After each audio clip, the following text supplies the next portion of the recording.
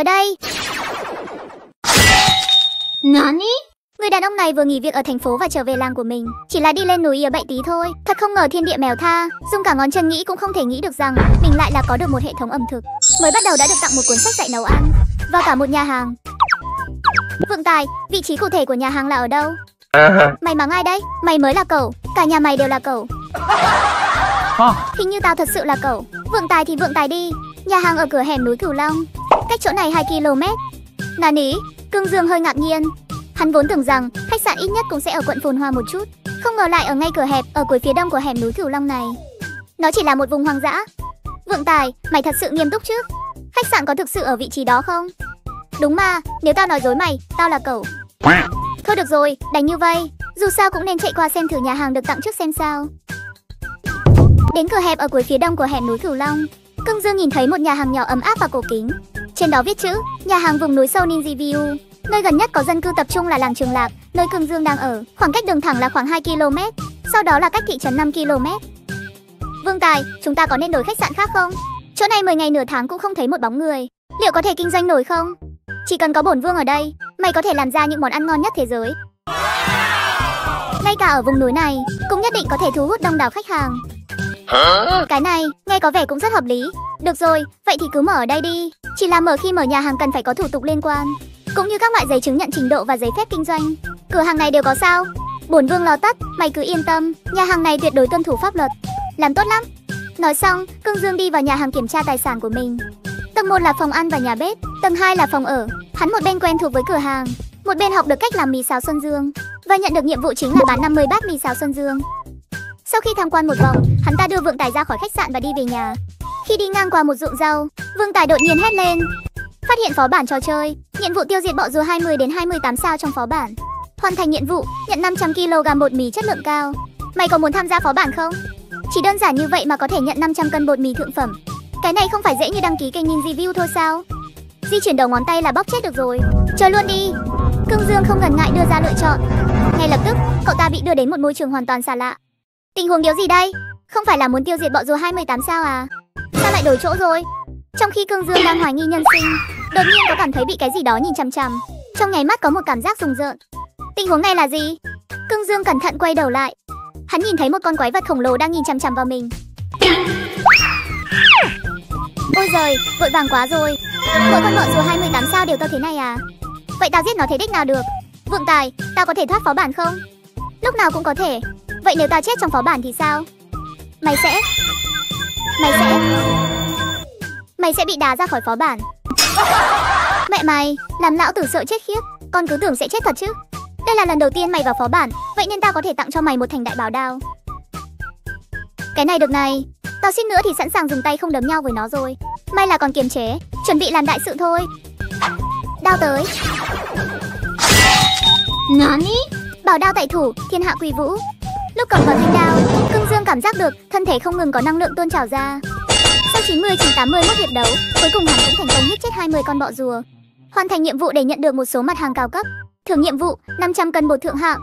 Khi rời khỏi phó bản, Tôn Tam đột nhiên nhớ ra một vấn đề quan trọng. Tao đã dành ra ít nhất nửa giờ trong phó bản rồi. Không biết trong thực tế thời gian đã qua bao lâu nhỉ? Một giây thôi, bất kể mày có ở trong phó bản bao lâu, trong thế giới thực, thời gian sẽ chỉ trôi qua một giây. Thế mà mới chỉ trôi qua có một giây. Nói như vậy, vậy là những con bọ rùa khổng lồ kia chỉ bị tao đại sát trong có một giây. Ai? Bất khả chiến bại thật là cô đơn. Tao thấy mày nên được gọi là người đàn ông một giây. Sau đó Cương Dương dẫn Vượng Tài về nhà. Bố mẹ cậu ta thắc mắc về chuyện mở nhà hàng ở hẻm núi Cửu Long. Phần lớn đã chuẩn bị xong hết, hai ngày nữa là có thể chính thức mở cửa rồi. Con muốn thử mở nhà hàng ở khu vực đó thì cũng được. Nhưng có điều, nếu không ăn thua, vẫn là nên bỏ đi, ra ngoài tìm việc khác mà làm con ạ. Bố mẹ không tin rằng việc con mở nhà hàng ở hẻm núi Cửu Long có thể hoạt động được à? Đôi khi cũng sẽ có người thành phố đến hẻm núi Cửu Long chơi. Họ có thể đến nhà hàng ăn uống, nhưng một mình người đó không thể giúp con có kinh phí duy trì một nhà hàng được. Con chỉ muốn thử xem thế nào thôi. Nếu không kinh doanh được, chắc chắn vẫn phải ra ngoài tìm việc làm khác. Bố mẹ Cương Dương đều thở phào nhẹ nhõm. Nếu con đã quyết định như vậy, vậy thì chúng ta cũng yên tâm rồi. Bắt đầu từ một nhà hàng nhỏ không ai quan tâm đến. Hãy xem cách mà tôi biến nó trở thành nhà hàng đứng đầu trong giới ẩm thực.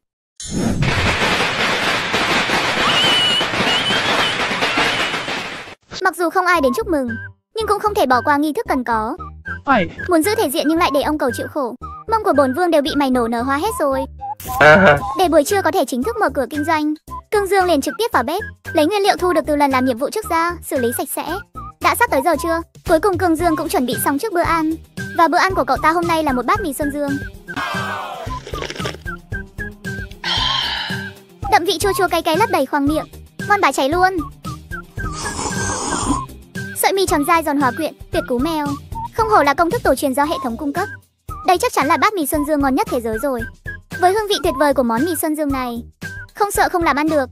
Ăn xong, cường Dương viết một bảng thực đơn lớn, mang tới đặt ở trước cửa chính. Mọi công đoạn chuẩn bị đã hoàn tất, để xem khi nào mới có khách đến mở hàng đây. Cương Dương nhìn phong cảnh hữu tình bên ngoài nhà hàng, nhưng lại không có nổi một bóng người nào. liền nằm xuống ghế tựa trước nhà hàng, tận hưởng cuộc sống dễ chịu này. Ngay sau đó, một chiếc xe tải nhỏ từ từ lái vào bãi đậu xe của nhà hàng. Nhanh như vậy đã có khách nhân đến rồi. Ai nói là mở nhà hàng ở đây thì không làm ăn được cơ chứ? Chỉ thấy một người đàn ông khoảng 30 tuổi từ buồng lái của chiếc xe đi xuống, bước về phía nhà hàng. Ông chủ, chỗ này là quán cơm phải không? Đúng vậy, hoan nghênh thực khách. Thật không ngờ ở vùng hoang vu này lại là có một nhà hàng. Liệu nhà hàng này có làm ăn được không? Cũng không biết ông chủ này nghĩ gì khi quyết định mở nhà hàng chỗ này. Có điều, mình đến đây cũng là muốn ăn chút gì đó. Người đàn ông tên là Vệ Bình, là nhân viên giao hàng của một cửa hàng thiết bị gia dụng ở quận Trường Khê. Hôm nay đang vận chuyển một cái tủ lạnh đến làng Đào Sơn. Vừa lúc cảm thấy bụng đói cồn cào thì phát hiện ra nơi này còn có một nhà hàng. Liền lái xe vào bãi đỗ xe. Nhà hàng có những món gì vậy? Cương Dương chỉ tay qua bảng thực đơn bên cạnh. Vệ Bình nhìn một chút liền nghi hoặc hỏi, chỉ có mì Xuân Dương thôi sao? Đúng vậy, tạm thời chỉ có mì Xuân Dương thôi. Vệ Bình cũng không ngạc nhiên, nghĩ lại thì ở nơi này có cái để mua bỏ vào mồm là tốt lắm rồi. Miễn là không khó ăn, có thể no bụng là chấp nhận được. Vậy được, cho tôi một bát lớn. Được rồi, được rồi, không thành vấn đề.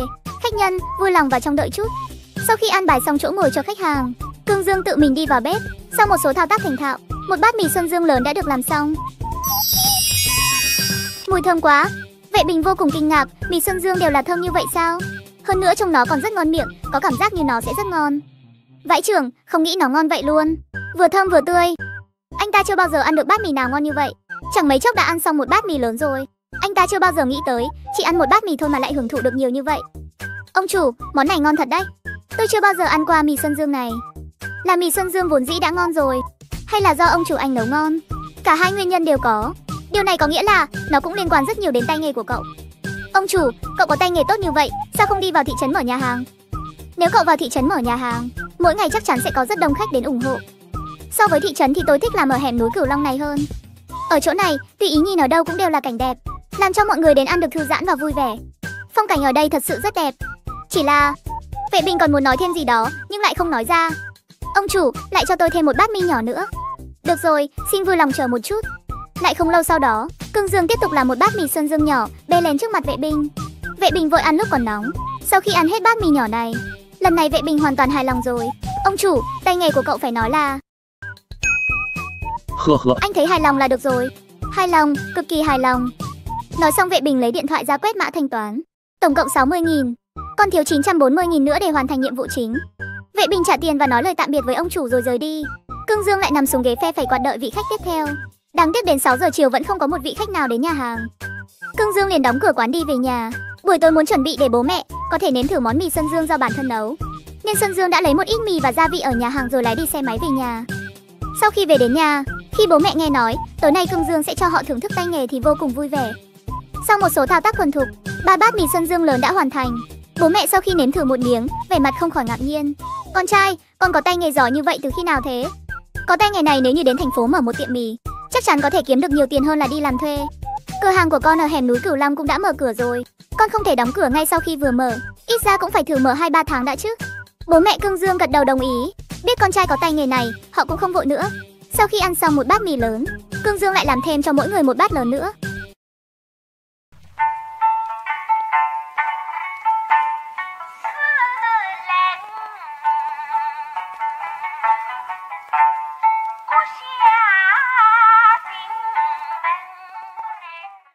Nằm dài trên ghế, hy vọng hôm nay ít nhất ông trời cũng mang đến cho cậu ta một vị khách. Nhưng sau một thời gian dài, vẫn không thấy có một bóng ma nào. Dù sao cũng không có khách, hay là đi bắt cá nhỉ? Nói rồi cậu ta chạy đo lấy một rổ tre, cùng một cái xô nhỏ đi đến con suối nhỏ. Trong lúc Cương Dương đang bắt cá, cho nhìn thấy vài bóng người xuất hiện ở hẻm núi phía trước. Có vẻ như là khách du lịch đến hẻm núi tham quan. hay hay, Khách du lịch đều là khách hàng tiềm năng, Xem ra hôm nay có cơ hội mở cửa rồi. Sau khi mở một nhà hàng nhỏ ở nơi không ai quan tâm đến, hãy cùng xem cách mà Cương Dương biến nó thành nhà hàng đứng đầu trong giới ẩm thực. Còn có thể bắt cá theo cách này sao? Cảm giác thật thú vị. Đây hình như là cá mú lạch. Mặc dù nhỏ nhỏ nhưng ăn lại rất ngon. Tôi đã nhìn thấy nó trên mạng rồi. Huynh đệ, đây có phải có lú mạch không? Đúng rồi, chính xác là cá mú lạch. Huynh đệ, cậu đến đây du ngoạn mà cũng mang theo dụng cụ bắt cá à? Tôi đến đây để bắt cá, vốn dĩ tôi cũng sống ở đây. Ở phía bên kia tôi có một nhà hàng nhỏ, các anh có thấy nó không? Đấy là nhà hàng của tôi. Ý cậu là nhà hàng vùng núi sâu Ninja View sao? Lúc nãy chúng tôi có thấy. Vậy nhà hàng hiện tại vẫn đang mở cửa đúng không? Đúng rồi, nếu trưa nay các anh thấy đói, hoan nghênh đến nhà hàng của tôi dùng cơm. Mặc dù hiện tại chỉ bán mì Xuân Dương, nhưng mùi vị đặc biệt thơm ngon. Được, nếu đến lúc đó tôi sẽ xem xét. Dù sao chúng tôi cũng mang theo đồ khô. Cương Dương biết đây chỉ là lời khách sáo của đối phương, nhưng cũng không nói thêm gì nữa, lại bắt thêm 10 căn cơ nữa rồi mới về nhà hàng. Sau khi xử lý xong cả mú trạch, cũng đã là buổi trưa rồi.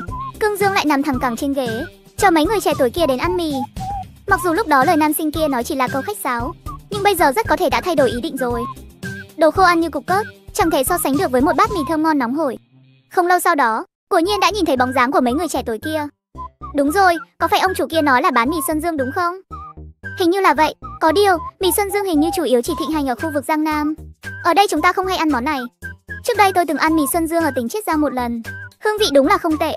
Chỉ là không biết mì Xuân Dương của ông chủ trẻ tuổi kia có phải là chính thống không? Không cần biết là có chính thống hay không, miễn là hương vị không quá tệ là được. Nói vậy cũng đúng. Các cậu nói xem, tại sao ông chủ kia lại mở nhà hàng ở đây? Mở ở đây liệu có làm ăn được không? Ai mà biết được. Có lẽ là để bán cho những người đến đây du lịch như chúng ta.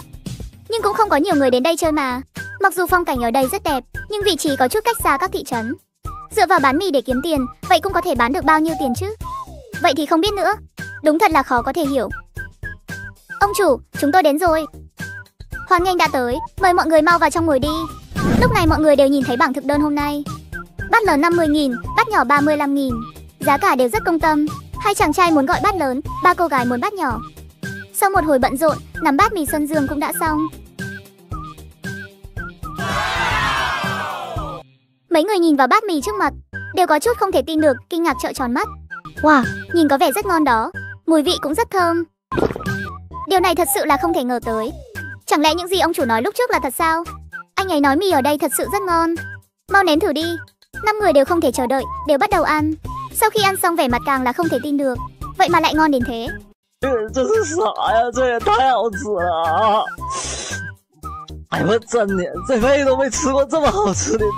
这这是啥呀？这也太好吃了啊！哎，我真的这辈子都没吃过这么好吃的东西。嗯，再来一口。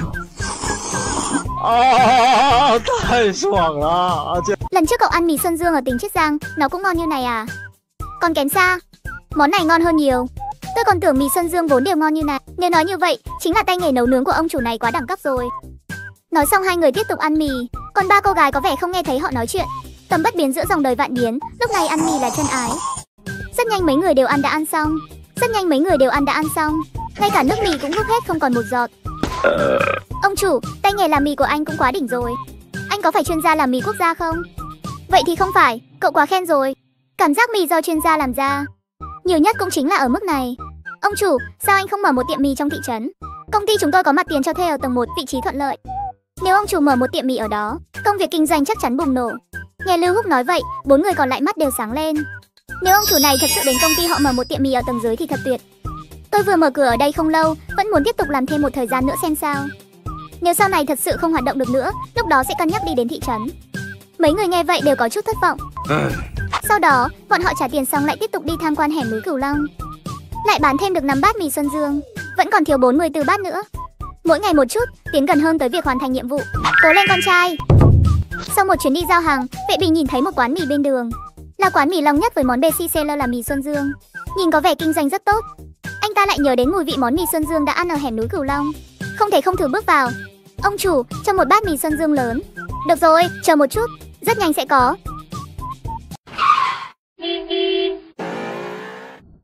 Bắt đầu từ một nhà hàng nhỏ không ai quan tâm, hãy xem cách Cương Dương biến nó thành nhà hàng ngon nhất thế giới. Ông chủ, mang cho tôi một bát mì Xuân Dương lớn. Được rồi, anh chờ một chút, sẽ có nhanh thôi. Không lâu sau, Vệ Bình nhìn bát mì được đưa lên liền có chút thất vọng. Dù ăn bên này nhìn không ngon bằng mì của nhà hàng Ninjibiu Cũng chả có hương thơm đếch gì.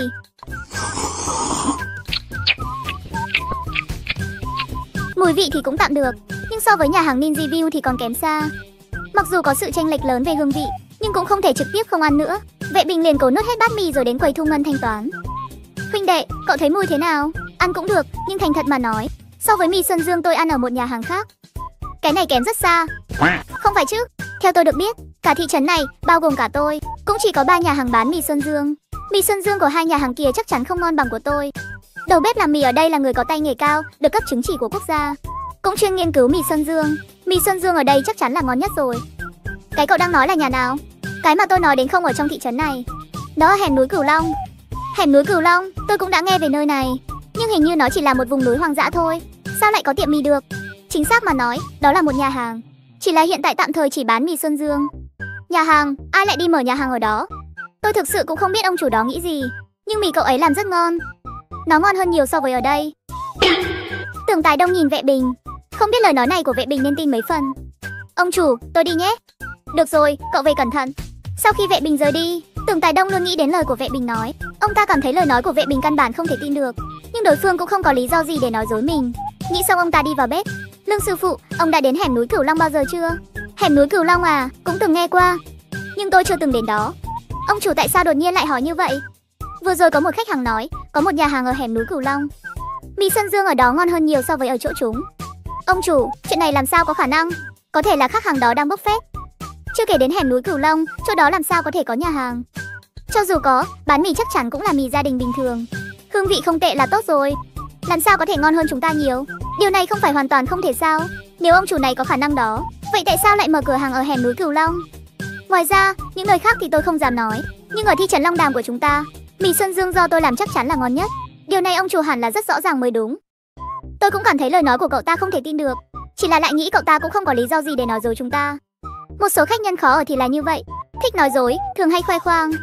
Ông chủ cứ trực tiếp phớt lờ là được rồi. Nói cũng đúng, 5 giờ chiều, mấy người đi chơi kia lại đến nhà hàng. Mọi người gọi một bát mì xuân dương lớn. Ăn xong, rất hài lòng trả tiền rời đi rồi. Còn thiếu 38 bát nữa là hoàn thành nhiệm vụ. Hay hay. Đã thấy có một chút hy vọng rồi. Tiếp tục làm đi. Hy vọng ngày mai cũng sẽ có khách đến nhà. Tối nay có lẽ sẽ ở lại đây.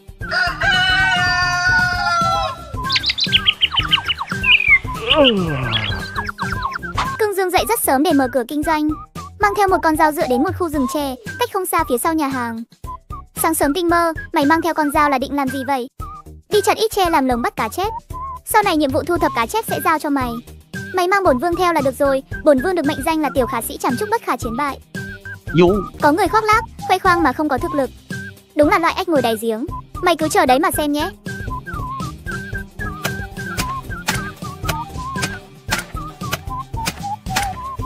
Vượng Tài, mày xong chưa? Đi về thôi. Bổn vương tới đây. Mày đang ngậm cái gì vậy? Cây chè đấy, còn có thể là gì nữa? Chỉ là nó hơi nhỏ hơn một chút thôi. Chẳng lẽ mày cho rằng bổn vương có thể cầm được cây tre to như mày sao? Không phải, tao chỉ muốn nói là cây tre của mày trông hơi ngon. Nói gì tao điếu hiểu. Một lát sau, Cương Dương cùng Vượng Tải quay trở lại cửa nhà hàng. Cây tre bị chặt thành từng giải, bắt đầu được đan thành lồng. Đây có phải là sinh viên mỹ thuật đến đây để vẽ không? Nhìn hơi giống. Hai cô gái cũng nhìn về phía Cương Dương. Do dự một chút, rồi quyết định đi tới. Ông chủ, xe của chúng tôi có thể đậu ở đó không?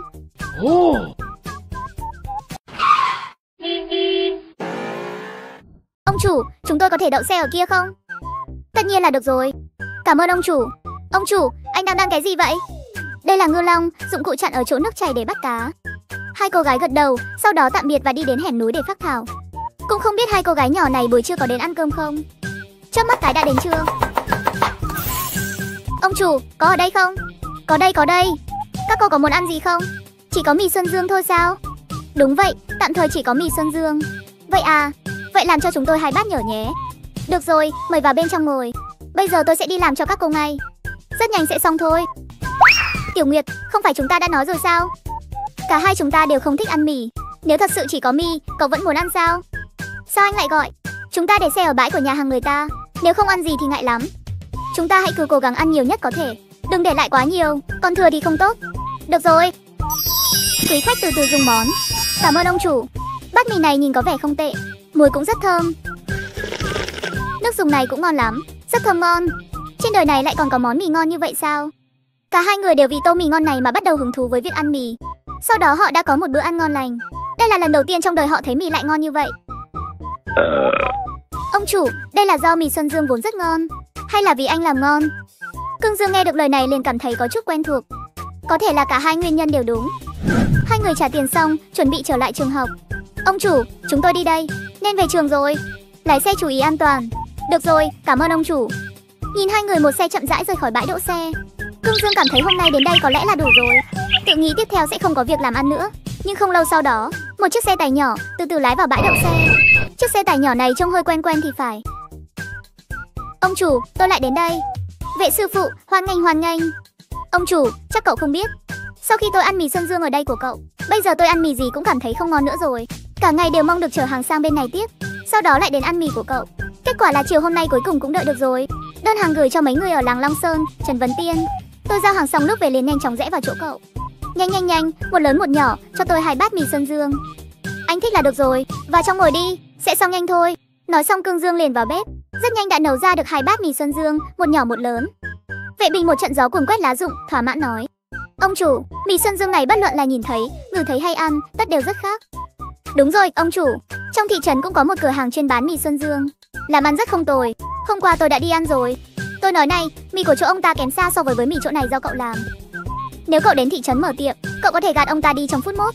Tôi cũng đã nói với ông chủ đó rồi, nói rằng mì xuân Dương của ông ấy kém xa so với mì ở đây của cậu. Nhưng ông chủ đó dường như không tin, nghĩ rằng tôi đang khoe khoang. Đương nhiên việc ông chủ kia không tin, tôi hoàn toàn có thể hiểu. Mì ở đây của cả thật sự quá ngon. Nếu không phải tôi đã tự mình nếm thử, chỉ nghe qua thì rất khó tin. Anh đã đi ăn ở tiệm nào? Một tiệm mì tên là mì vị gia, ở gần phố đi bộ. Vị trí của anh ta khá tốt. Quả nhiên ăn hai bát mới đã miệng. Tôi sợ đến mức chắc phải mang cả gia đình đến đây ăn một lần. Phải để họ cũng được trải nghiệm hương vị của món mì siêu ngon này. Được thôi, rất hoan nghênh. Đến lúc đó tôi sẽ giảm giá cho các anh 20%. Khơ khơ. Vậy thì phải cảm ơn ông chủ trước rồi.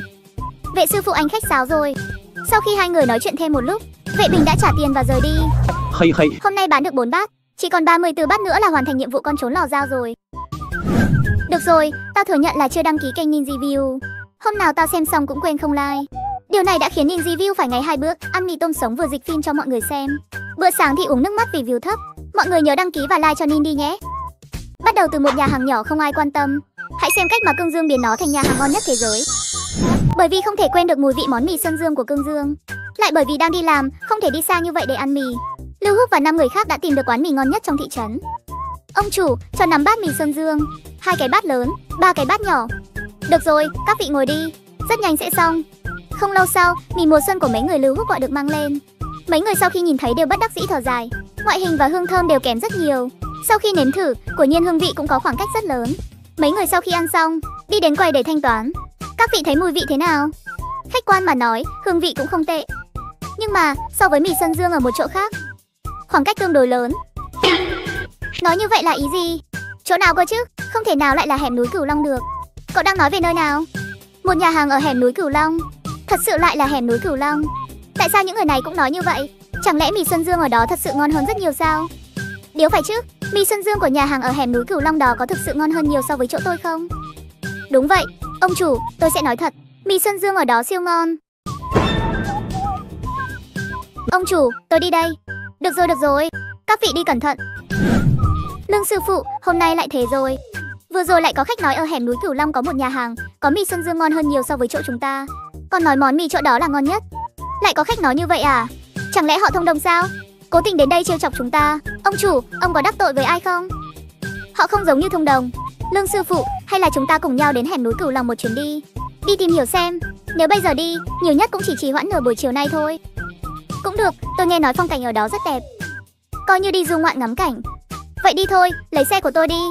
Sắp xếp xong công việc ở tiệm mì, hai người liền lái thẳng xe tới hẻm núi Cửu Long. Hai tiếng rưỡi sau, hai người đã nhìn thấy nhà hàng của Cương Dương. Nhà hàng Ninja View à? Ở đây lại thực sự có một nhà hàng.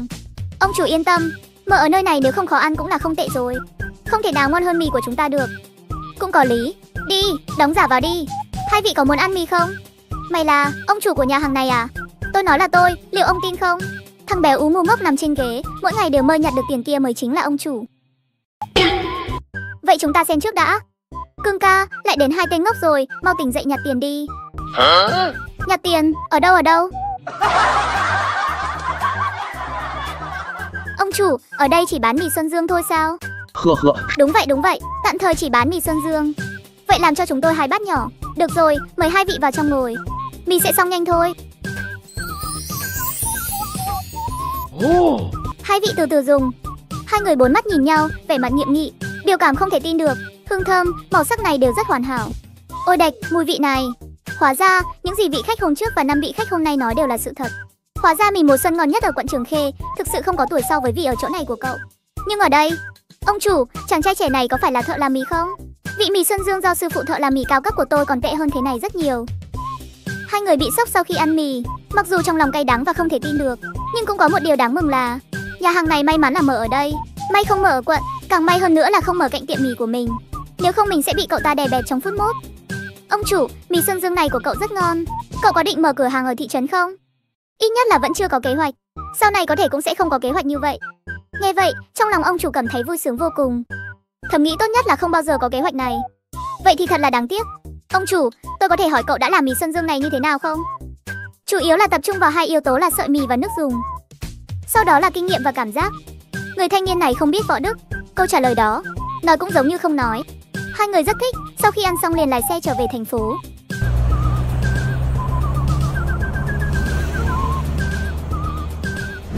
Lương sư phụ, ông chủ này có kỹ năng như vậy. Ở trong giới làm mì của các anh, hay thậm chí là trong giới đầu bếp, cũng nên nổi tiếng lắm chứ. Anh đã bao giờ nghe nói về nhân vật này chưa? Hoàn toàn không có, và không phải tôi không biết gì. Thật ra tôi vẫn không hiểu tại sao ở tuổi này, cậu ấy lại có thể làm ra mì Xuân Dương ngon như vậy. Mì Xuân Dương của cậu ấy có thể đại diện cho cấp độ cao nhất của mì Xuân Dương. Ngay cả một chuyên gia về mì cũng chưa chắc có thể làm ra mùi vị như cậu ta. Chả nhẽ cậu ta là chuyên gia làm mì sao? Không phải, chuyên gia bánh ngọt cấp đặc biệt, cả nước cộng lại cũng chỉ có hai bàn tay. Chắc chắn không có một người trẻ như cậu ta, nhưng nếu chỉ nói về mức độ của mì Xuân Dương, có lẽ cậu ta còn phải ở trên cả bậc thầy nữa. Vậy đây không phải là ngọa hổ tàng long sao? Ai có thể nghĩ đến nơi ở hẻm núi Cửu Long này? Ngoài ra còn là sự tồn tại trên cả bậc thầy làm mì. Chỉ có thể nói đơn giản đó là trình độ trên mặt mì Xuân Dương. Còn trình độ của cậu ta ở những loại khác thế nào? Cái này cũng rất khó nói. Nhưng tổng hợp lại, chắc chắn vẫn không bằng một bậc thầy làm mì. Điều đó cũng rất tuyệt vời rồi. À đúng rồi Lương sư phụ, sau khi ăn mì của cậu ta, anh đã tìm ra điều gì chưa? Có một số phỏng đoán. Tôi sẽ qua lại và thử vài cái xem. Sẽ có thể có một số cải tiến trong mì và nước dùng. Tuy không thể nào đạt tới trình độ của cậu ta, nhưng ở trình độ hiện tại của tôi thì không có vấn đề gì. Ông chủ tiệm mì hai mắt sáng lên. Đây mới là tiêu chuẩn và chất lượng của một người làm mì giỏi. Bắt đầu một nhà hàng nhỏ không ai quan tâm. Hãy xem cách mà Cương Dương biến nó thành nhà hàng ngon nhất thế giới. À, Thật là vô lý mà. Cậu đại gia giao cho mày nhiệm vụ phụ, mày lại còn để bồn vương làm hộ mày. Sao nào, mày có ý kiến gì à?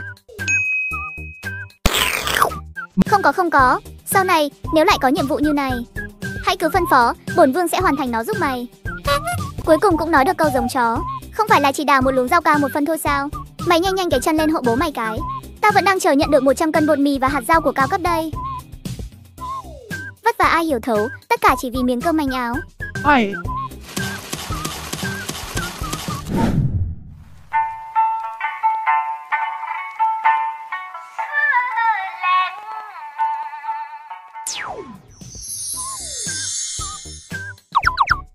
Oh, hay hay. Vượng tài giỏi nhất, cho mày nghìn like.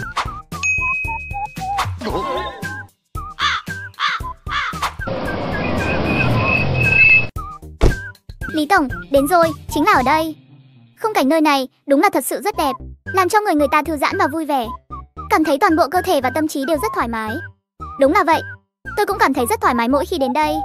Có điều, vệ sư phụ, nhà hàng ở một nơi xa xôi như thế này, liệu mì mà họ bán có ngon như anh nói không?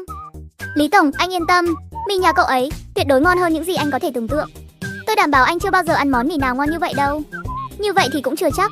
Tôi là người đặc biệt thích ăn mì, không dám nói là đã ăn hết mì ngon trên cả nước. Nhưng cũng gần như vậy, mì Xuân Dương tôi cũng đã ăn rồi, mùi vị rất ngon. Mì Xuân Dương mà Tổng lý Tổng ăn trước đây dù có ngon đến đâu, cũng sẽ không so được với nhà hàng ở đây.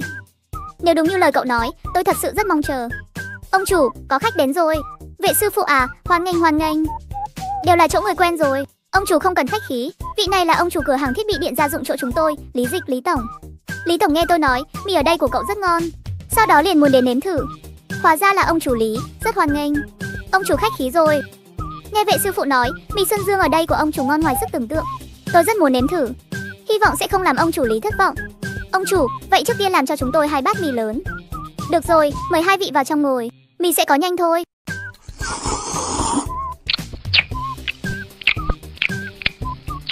Lý Dịch ăn mì trong sự kinh ngạc và không thể kiểm soát được. Mì bên này thực sự ngon ngoài sức tưởng tượng. Vệ sư phụ, cảm ơn anh rất nhiều vì đã đưa tôi đến đây. Bây giờ, tôi đã hoàn toàn tin lời anh rồi. Mì Sơn Dương này thật sự rất ngon. Ngay cả ông chủ lớn đã ăn vô số món mì ngon trên khắp đất nước cũng nói là siêu ngon. Không khổ. Xem đi, đây chính là mì của quận Trường Khê chúng ta. Lý Tổng, anh thích ăn là được rồi. Có thể ăn được mì như vậy, chuyến đi đến quận Trường Khê lần này thật sự rất đáng giá. Ông chủ có thể ăn được mì của cậu thật là tốt quá đi. Đây là món mì ngon nhất mà tôi đã từng ăn. Thật là muốn ăn thêm một bát lớn nữa, nhưng đáng tiếc đã thực sự không ăn được nữa rồi. Ông chủ Lý ăn mì thấy hài lòng là được rồi. Vệ sư phụ, thật không thể tin được, chỗ các anh lại có món mì ngon như vậy. Đồ ăn ngon chính là ngon, chỉ là có hơi bất tiện vì vị trí khá xa thị trấn. 无妨. Mì ngon như vậy dù ở xa đến mất công cũng không sao. Ngoài ra, phong cảnh ở đây rất đẹp. Đã ăn được đồ ăn ngon lại còn được ngắm cảnh đẹp. Đó chính là niềm vui nhân đôi. Lý Tổng nói như nào thì chính là như vậy.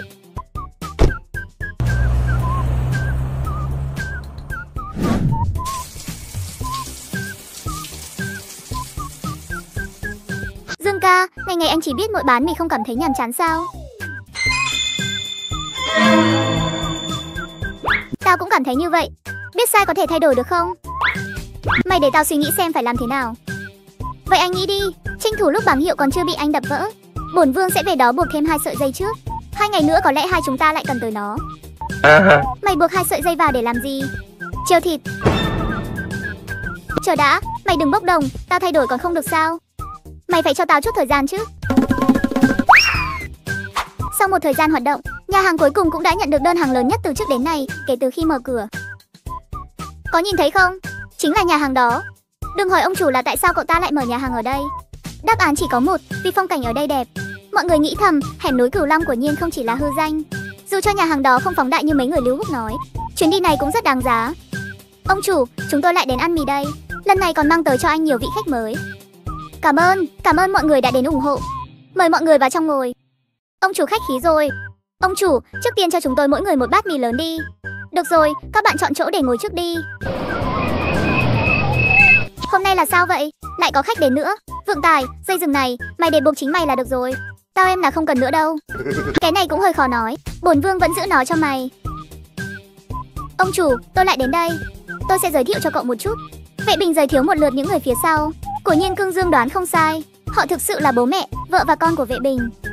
Chú, dì, chị dâu, bạn nhỏ, hoan nghênh mọi người. Ông chủ khách sáo rồi. Anh bạn nhỏ khách sáo rồi.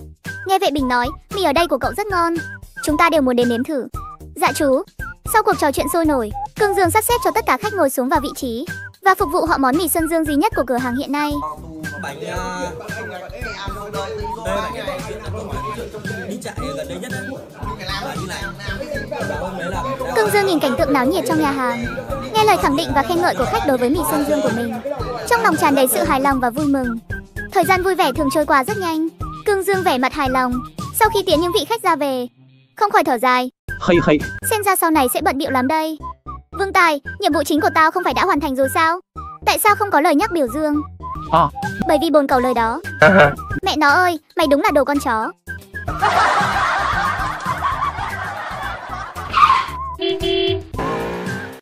Đầu từ một nhà hàng nhỏ không ai quan tâm, hãy xem cách mà Cương Dương biến nó thành nhà hàng ngon nhất thế giới.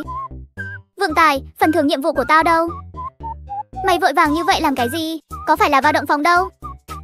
Này, đây là công thức của phần thưởng lần này. Cương Dương nhìn quyển công thức làm khoai tây chiên, vẻ mặt rất ngạc nhiên. Bởi vì các nguyên liệu đều là loại phổ thông nhất, món ăn gia đình bình thường nhất lại được chế biến trở thành mỹ vị nhân gian. Nhưng quan trọng nhất vẫn là trình độ của người đầu bếp. Hay hay. 从 Từ nay về sau, khoai tây chiên do tao làm sẽ trở thành món khoai tây chiên ngon nhất thế giới. Nhà hàng cuối cùng cũng có món ăn mới rồi. Vượng Tài, mày là cọc gỗ cầm dưới đất đấy à? Tao gõ một cái thì mày mới di chuyển một chút.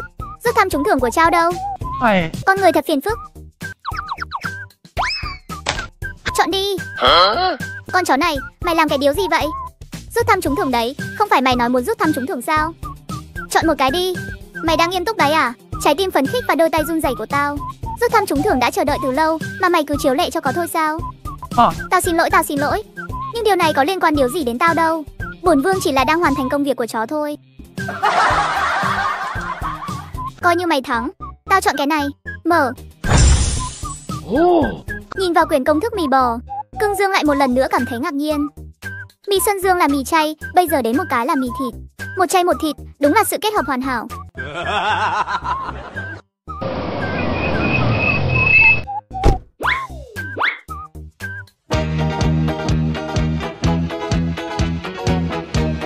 Chào ông chủ.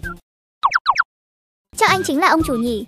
Nghe nói mì Xuân Dương chỗ anh vô cùng ngon, nên là tôi đặc biệt đến đây để nếm thử. Hoan nghênh, vô cùng hoan nghênh, mời cô vào trong. Ông chủ, anh đây là đang làm gì vậy? Cái này sao? À đúng rồi, Phượng Tài nhà tôi béo như lợn rồi. Tôi là đang giúp nó tập luyện để giảm cân. Cầm, mày mời béo, mày đây là rảnh dài quà mời cưới tao chơi. Con chó này của anh vui tính thật. Vui tính, vui tính cũng không cho cô chơi. Mỹ nữ, cô muốn ăn bát lớn hay bát nhỏ? Cho tôi một bát mì nhỏ đi. Cảm ơn. Được rồi, xin chờ một chút. Chú Lý, cháu đến nhà hàng chú nói rồi. Nơi này đúng thật là thiên vị, phong cảnh xung quanh tuyệt đẹp. Lát nữa ăn xong mì cháu phải đi xem kỹ mới được. Có điều chú Lý, nhà hàng này nhìn có vẻ rất bình thường. Lại còn xa xôi thế này. Mì ở đây liệu có thật là ngon như lời chú nói không? Yên tâm đi, nó sẽ ngon hơn cháu nghĩ nhiều. Chắc chắn có thể gọi là mỹ vị nhân gian. Ta nghĩ cháu cũng có thể thêm nó vào kênh đánh giá ẩm thực của cháu đón. Có thật không? Có vẻ như rất đáng để mong chờ đây. Chẳng bao lâu sau, Cương Dương đã mang mì đến. Xin mời dùng, cảm ơn. Đôi mắt cô gái lập tức sáng lên khi nhìn vào bát mì. Trông nó thật sự rất ngon, mùi vị cũng rất thơm. Trong lòng thầm nghĩ có lẽ mình thực sự có thể thêm vào kênh đánh giá của bản thân.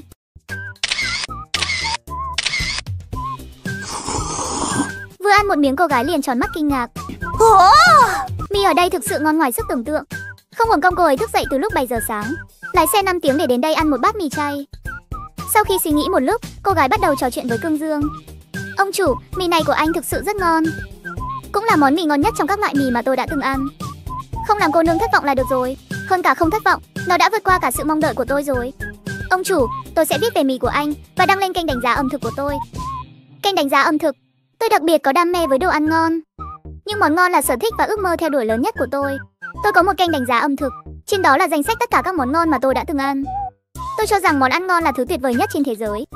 Vậy tiện cho tôi hỏi, đến nay cô đã ghi lại tổng cộng bao nhiêu món ăn ngon rồi? 12 món. Mới có 12 món thôi sao?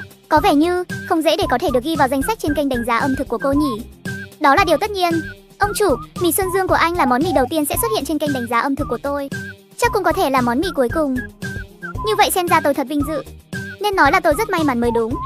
Đúng rồi ông chủ, chắc anh cũng là người rất thích đồ ăn phải không? Theo ý kiến của tôi thì đồ ăn ngon chính là một liều thuốc chữa bệnh, có thể mang lại cho chúng ta một tâm trạng tốt và loại bỏ đi sự khó chịu trong trái tim chúng ta. Cô gái giơ ngón tay cái lên sau khi nghe xong. Ông chủ nói rất đúng, đồ ăn ngon thực sự chính là một liều thuốc chữa bệnh. Tiếp sau đó, hai người trẻ tuổi nói chuyện rất lâu về chủ đề đồ ăn. Cương Dương cảm thấy đã thân thiết hơn một chút, liền hỏi một câu mà anh ấy vẫn luôn muốn hỏi. Xin hỏi cô nương, là ai đã nói cho cô biết mì ở chỗ tôi ăn rất ngon vậy? Lý Dịch, tôi và ông ấy biết nhau. Có lẽ là hôm trước ông đấy đã đến đây ăn mì. Ông chủ có ấn tượng gì không? Có ấn tượng có ấn tượng. Ông chủ cửa hàng thiết bị điện gia dụng đúng không? Đúng rồi đúng rồi, chủ Lý biết sở thích lớn nhất của tôi đồ ăn và thường đăng những món ngon lên kênh đánh giá ẩm thực. Nên đã nói với tôi về nhà hàng của anh. Ông ấy nói rằng trên kênh của tôi nhất định phải có món mì Xuân Dương này. Cho nên tôi đến đây nếm thử xem có ngon như vậy không. Kết quả là đúng thật. Thật sự cảm ơn lời giới thiệu của ông chủ Lý. Tất cả đều là bởi vì mì ở đây của ông chủ ngon bá cháy luôn. Sau khi về tôi cũng sẽ giúp anh giới thiệu tới tất cả fan của tôi. Vậy thì cảm ơn mỹ nữ rất nhiều. Tên họ Diệp, tên Diệp Sinh ca. Anh có thể gọi tên tôi. Tên hay, tên tôi là Cương Dương. Cương trong cương cứng, Dương trong Dương năm. Tôi biết, chú Lý nói qua với tôi rồi. Đúng rồi, ông chủ. Nơi này gọi là hẻm núi Cửu Long. Có phải là rất đẹp không? Tôi muốn đi dạo một vòng. Đúng vậy, phong cảnh ở đây rất đẹp. Trong lúc đi dạo cô nhớ chú ý an toàn nhé. Được, cảm ơn ông chủ. Thằng Mập, mày lại đang mơ mộng gì đấy? Có phải là thích cầu nương nhà người ta rồi không? Đừng nói nhảm, làm sao cóc ghẻ có thể xứng với thiên nga? Ông chủ, mau đến đây xem đi. Trên cây của anh có xén tóc này. Xén tóc? Thật không? Để tôi xem xem. Vượng Tài, tao vừa nghe thấy có tiếng tinh. Có phải có nhiệm vụ rồi không? À, đúng vậy. Đồ chó lười biếng, nếu tao không hỏi mày, có phải mày cũng sẽ không nói cho tao biết phải không? Tao để mày lời này.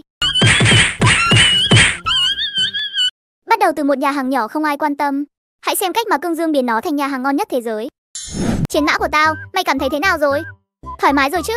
Vẫn tốt, tao không vất vả lắm đâu, lần sau nhẹ tay chút đi. Được, lần sau sẽ nhẹ tay. Vậy mày hãy nói về nhiệm vụ đi. Giết 30 con sẻn tóc. Phần thưởng là kỹ năng dùng dao và 500 cân bột mì cấp cao nhất. Cương Dương sau khi nghe xong liền vui mừng, bởi vì cậu ta rất thích nhiệm vụ kiểu này. Không chỉ có thể thực sự trải nghiệm cảm giác đánh quái vật, mà còn có thể nhận phần thưởng khi hoàn thành nhiệm vụ. Trong quá trình đánh quái vật, nguyên liệu, công thức nấu ăn và dụng cụ nhà bếp và các vật phẩm khác có thể rơi ra bất cứ lúc nào. Bố trẻ, mày có muốn vào phó bản làm nhiệm vụ ngay bây giờ không? Trước tiên đừng vào, mặc dù bất kể mất bao lâu trong phó cảnh của trò chơi, trong thế giới thực thì mới chỉ trôi qua một giây. Diệp Mỹ nữ bên cạnh có thể không phát hiện ra bất cứ điều gì khác thường, nhưng sau khi hoàn thành nhiệm vụ trong phó cảnh của trò chơi, tất cả các loài gây hại cùng loại ở một phạm sáu nhất định trong thế giới thực tại cũng sẽ bị giết và biến mất. Cũng không thể để cô ấy nhìn thấy con xén tóc trước mắt biến mất không một dấu vết. Cái này không có vấn đề gì. Bất kỳ loài gây hại nào xâm nhập vào tầm nhìn của con người trong thế giới thực sẽ không bị giết và biến mất khi hoàn thành nhiệm vụ. Có vẻ như quy tắc của hệ thống cũng không quá cứng nhắc nhỉ. Thường cho mày phiếu miễn đánh một lần. Phiếu miễn đánh? Là mày tự nói đầy nhá, lừa người khác cả nhà mày đều nghèo. Quên đi, coi như tao chưa nói gì cả.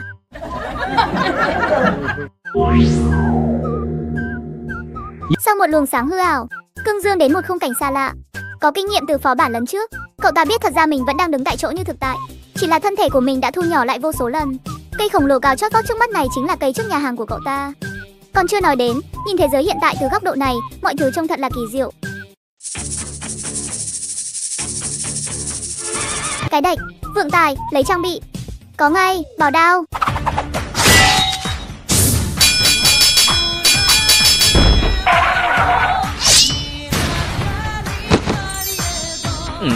Có đồ rơi rồi. Trước đây không phải đều là rơi thẳng vào túi không gian sao? Cương Dương nhặt vật phẩm bị rơi lên, xem phần giới thiệu sản phẩm. hay hay Nhìn cũng khá đẹp đấy.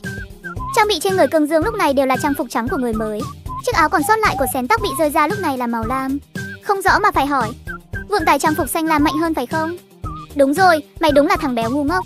Chất lượng của vật phẩm trò chơi trực tuyến được chia thành màu trắng, xanh lam, tím, cam, vân vân. Lẽ nào mày không biết sao? Mày đây là muốn dùng đến phiếu miễn đánh rồi à? Nghe xong, Cương Dương nhanh chóng thay chiếc áo giáp vừa rơi ra từ người con xén tóc. Khoảnh khắc ấy, cậu ta cảm thấy tất cả các thuộc tính của mình đều được nâng cao. Mặc vào trang phục mới, Cương Dương một trận dẹp loạn đại chiến 108 hiệp, cuối cùng cũng hoàn thành nhiệm vụ. Vậy mà đã giết chết 30 con xén tóc rồi. Phó bản này đúng thật là thú vị mà. Cương Dương kiểm tra các mặt hàng bị rơi và rồi tìm thấy một thứ kỳ lạ. Nồi cơm điện càn khôn. Cái tên này đặc biệt thật đấy. Chỉ bằng cái tên thôi là có thể biết nồi cơm điện này không hề đơn giản. Vừa ra khỏi phó bản, Diệp Sinh Ca không phát hiện bất kỳ dị thường nào, nói với Cương Dương rằng xén tóc là loài rất có hại. Ông chủ tốt nhất là đi mua chút thuốc đặc trị xén tóc, đây là một liều là hết ngay. Hôm sau tôi lên thị trấn đi chợ sẽ mua thêm một ít. Được, vậy tôi đi trước đây. Chú ý an toàn nhé. Sau đó, Cương Dương vào bếp lấy nồi cơm điện càn khôn ra. Hình dáng bên ngoài không khác nhiều so với nồi cơm điện thông thường. Kích thước tương đương với một nồi cơm điện 4 lít. Cũng không nhìn ra là có điểm gì đặc biệt. Vượng Tài, nồi cơm điện này có gì đặc biệt không? Nồi cơm điện này có thể nấu tối đa lên đến 100 cân gạo. Nồi cơm điện 4 lít thông thường tối đa cũng chỉ nấu được khoảng 3 cân gạo. Nồi cơm điện này lại có thể nấu tới 100 cân á? đều dám gọi tới cái tên kiêu ngạo là nồi cơm điện càn khôn rồi. Nấu một lần 100 cân gạo cũng là điều dễ hiểu thôi. Vậy cơm nấu bằng nồi cơm điện càn khôn hẳn là sẽ ngon hơn cơm nấu bằng nồi cơm điện thông thường đấy nhỉ? Có ngon hay không thì tao không biết. Dù sao thì nó còn có một công dụng khác ngoài nấu cơm, đó chính là hấp cơm. Cơm hấp, cái đồ này còn được gọi là xôi chõ. Đó là một loại bếp dân gian truyền thống phổ biến khắp miền Nam. Cơm hấp ngon hơn nhiều so với cơm nấu từ nồi cơm điện bình thường. Đây quả thật là một nồi cơm điện thần kỳ mà. Ông chủ, chỗ này của ông thật sự rất đẹp. Dùng điện thoại tùy tiện chụp một cái thôi cũng đều là ảnh đẹp. Bây giờ tôi cảm thấy anh mở nhà hàng ở đây là một quyết định rất đúng đắn. Vậy trước đây cô không nghĩ như vậy sao? Lúc trước chắc chắn cảm thấy quá lừa người đi. Nhưng bây giờ thì không phải rồi. Không khí quanh đây tốt như này, vừa được ăn đồ ăn ngon, vừa được ngắm nhìn phong cảnh xinh đẹp, lại còn có thể đi chơi trong hẻm núi. Rất tốt đúng chứ? Nói hay lắm. Đúng rồi ông chủ, sau này anh có định ra mắt thêm món mới nào nữa không? Có chứ, tôi vẫn luôn suy nghĩ và chuẩn bị.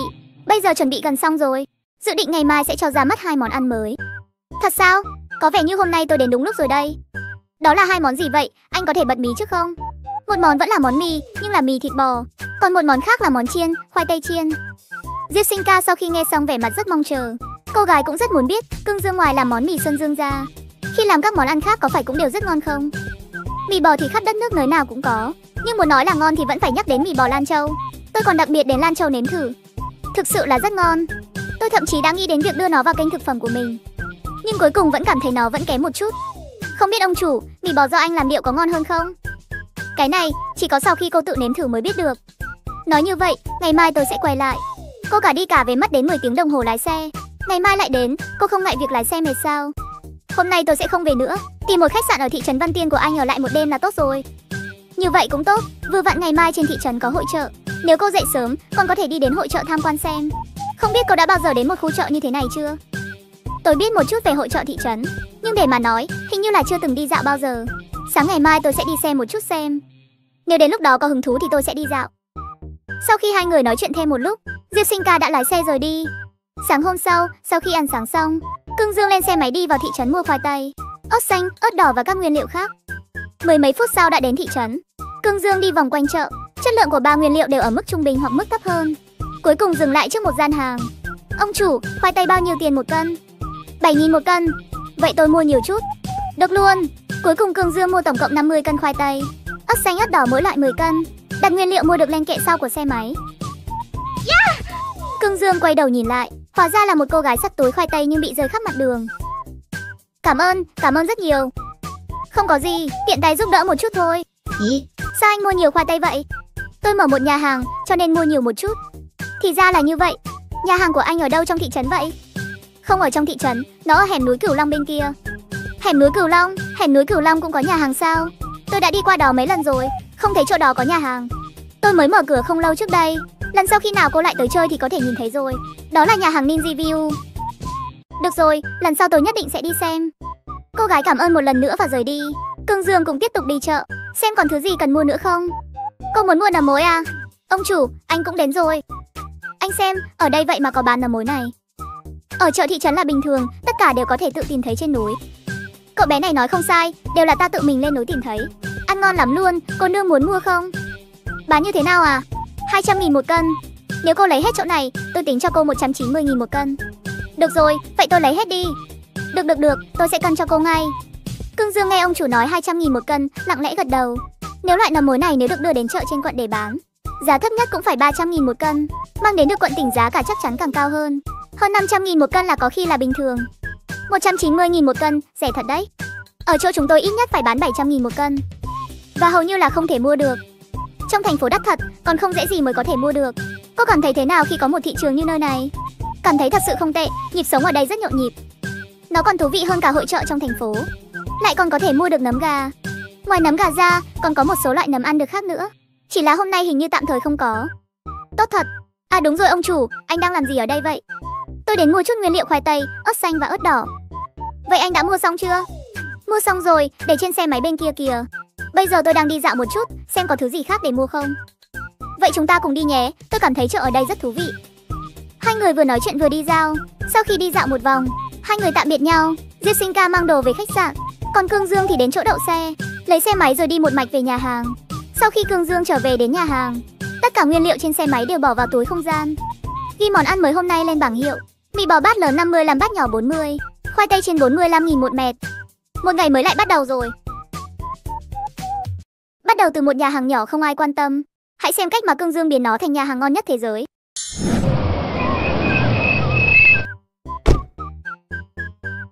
Ông chủ, tôi đến rồi đây. Món ăn mới là mì bò và khoai tây sợi xào có thể ăn được chưa? Được chứ, chỉ chờ cô đến thôi đấy. Cô muốn ăn món nào trước? Mì bò trước đi. Bác nhỏ, sau khi tôi ăn xong còn muốn ăn khoai tây sợi nữa. Không thành vấn đề, cô muốn rau mùi không? Rau mùi là thứ đồ tốt, nhưng nhiều người lại không ăn được rau mùi, vì nghĩ rằng rau mùi là loại có âm khí không tốt. Cho nên Cường Dương cần hỏi rõ ràng. Muốn chưa muốn chứ? Được rồi, cô ngồi trước đi, rất nhanh sẽ xong ngay. Sau khi nói xong, Cương Dương liền vào bếp, bắt đầu làm bát mì bò đầu tiên bán cho khách. Sau khi đun sôi nước, thêm xúc thịt bò, gia vị, vân cân. Cho mì vào bát rồi thêm một chút dầu ớt, rắc một ít rau mùi. Xúc thịt bò thơm ngon nhức nách, thịt bò tươi ngon hấp dẫn. Dầu ớt nổi màu đỏ tươi, rau mùi tươi xanh, sợi mì vàng óng phát sáng. Hoàn hảo. Được rồi, cô nếm thử xem. Diệp Sinh ca khá là bất ngờ, nhìn vào bát mì bò, mắt cô gái lập tức sáng lên. Từ màu sắc đến hương thơm, bát mì bò này đã vượt xa mì bò ngon nhất Lan Châu rồi.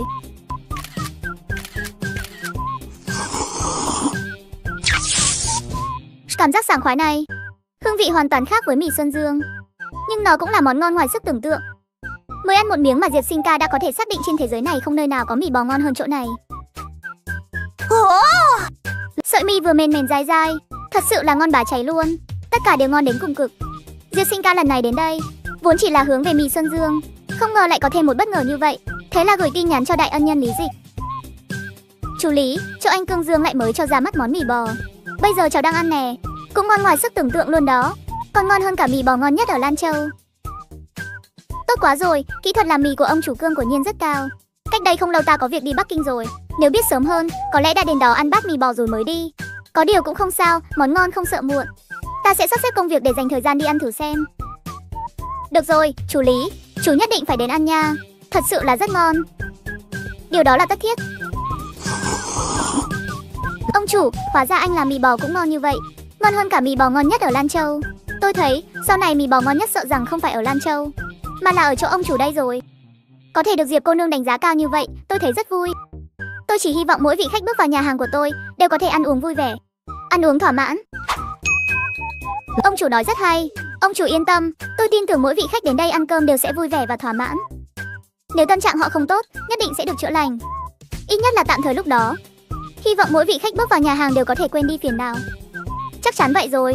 Ông chủ, hôm qua tôi nói mì Xuân Dương ở đây của anh hẳn là món mì duy nhất trên kênh của tôi. Nhưng bây giờ, tôi còn phải thêm mì bò vào nữa rồi.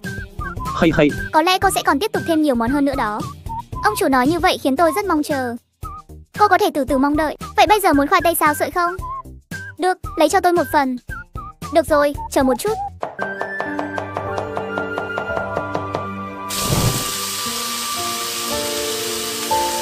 Sau một số thao tác, khoai tây xào sợi ngon nhất thế giới đã ra lò. Cô nếm thử đi rồi cho tôi chút ý kiến.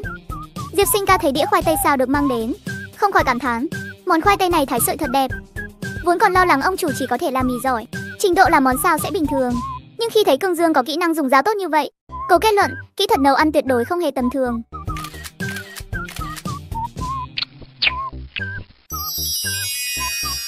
Ngon quá trời luôn.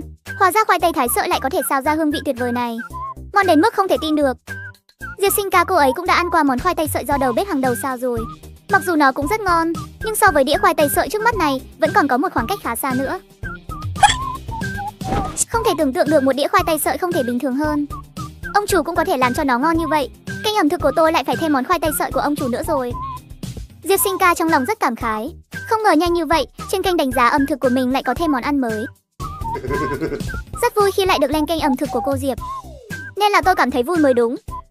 Đúng rồi, ông chủ, nếu sau này anh lại có thêm món mới, nhất định phải nhờ nói với tôi nhé. Được, chuyện này không thành vấn đề. Sau khi hai người nói chuyện thêm một lúc, Diệp Sinh ca trả tiền và rời đi trở về thành phố. Mà Cương Dương lại nghe thấy thông báo của hệ thống. Vượng Tài, không muốn chết thì mau qua đây.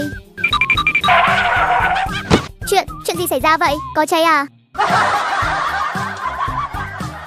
Mày không có chuyện gì để nói với tao sao? Mày muốn tự nói hay là để tao đánh mày một trận mày mới mở mồm ra? à, Tao biết rồi. Doanh thu chính một tuần 5 triệu. Vượng Tài, mày nói cái quái gì vậy? Nói tiếng người cho tao. ai Đó là trọng tâm của nhiệm vụ lần này. Mẹ mày không có nào à? Để bồn vương nói chi tiết cho mày hiểu này con trai. Chúc mừng người chơi đã bán được đơn hàng đầu tiên sau khi bữa ăn mới lên kệ. Bây giờ phát hành nhiệm vụ mới. Tổng doanh thu trong vòng một tuần phải đạt là 5 triệu. Phần thưởng nhiệm vụ gồm hai cơ hội rút thăm trúng thưởng. Undersitan. Tổng doanh thu trong vòng một tuần phải đạt là 5 triệu. Tính ra trung bình một ngày phải bán được 715 nghìn. Theo tình hình hiện tại thì rất khó đạt được. Nếu không hoàn thành được nhiệm vụ thì sao? Nhiệm vụ được xóa và đặt lại từ đầu cho đến khi hoàn thành nhiệm vụ. Nói cách khác, ngay cả khi nhiệm vụ không hoàn thành cũng sẽ không có hình phạt. Chỉ là tiến độ bị xóa, nhiệm vụ lại bắt đầu lại từ đầu. Vậy thì không có gì phải lo lắng cả. Chờ đã, có phải mày vừa nói tao không có não không?